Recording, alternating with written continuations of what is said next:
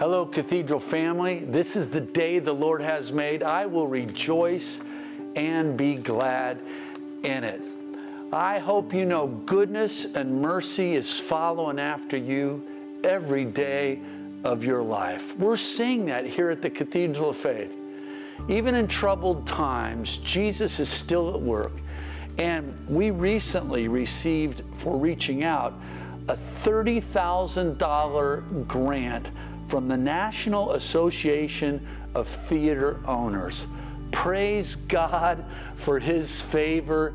Thank you, God, for being so good in providing for us so that we can serve our community.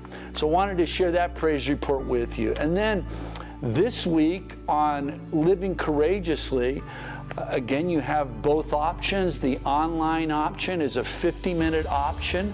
The Sunday morning option at 9:30, it is a 30 minute option. And our special guest this week is Danny Gokey. He, he's an amazing singer. He was on American Idol. He's won a Dove Award. And he did something especially for us. I really think it'll bless you. And then finally, uh, we sent out an email to you today that has a survey. And if you'll take just a few moments out, we really want to hear from you. I need to hear from you.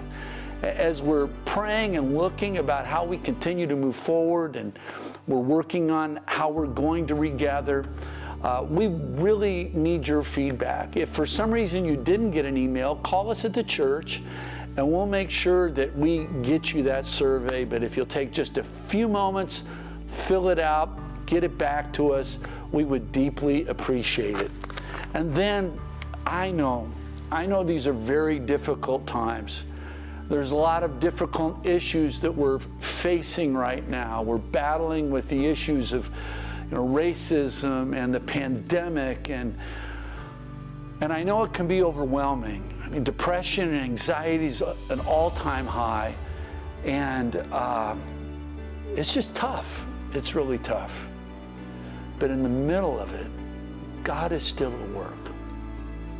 Jesus once gave us a picture of what troubled times can look like. He said it could be like a, a birthing experience. How when a woman goes into labor, there's pain and there's screaming and there's so much agony.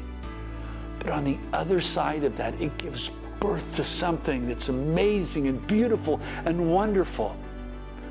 What if out of all of this, God gives birth to something that's way beyond what we could ever ask or imagine? I'm believing that for you. I'm believing that for me. And I'm believing that for the Cathedral of Faith. I love you, Cathedral family. Hope to see you soon.